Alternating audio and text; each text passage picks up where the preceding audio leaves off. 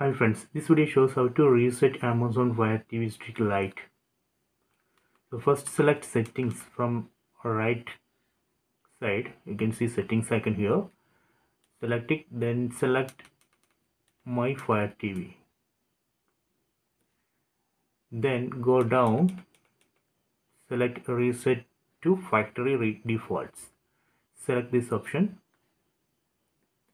Then select reset please uh, read the message. Let me select reset. So now it resetting. Resetting to factory defaults. So please wait.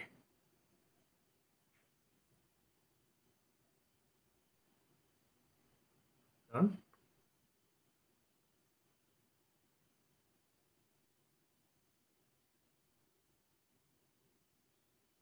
so then we need to press on play or pause button on remote. Then select language.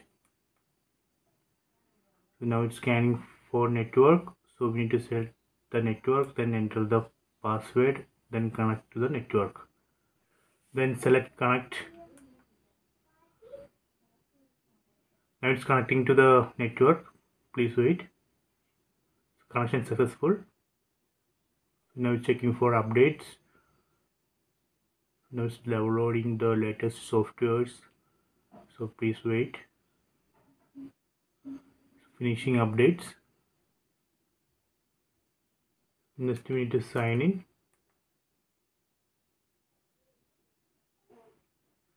So here we need to go to amazon.com slash code then enter that activation code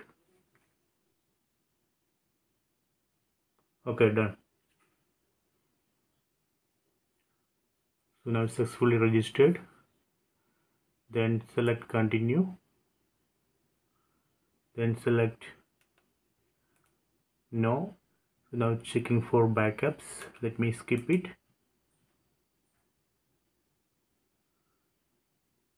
Let me skip this. Okay done. So this way we can reset amazon fire tv stick so please try it.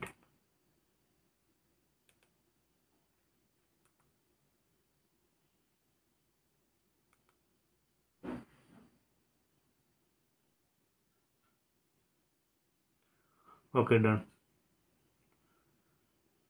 So i hope you enjoy this video. Please subscribe my channel. Please like and share the video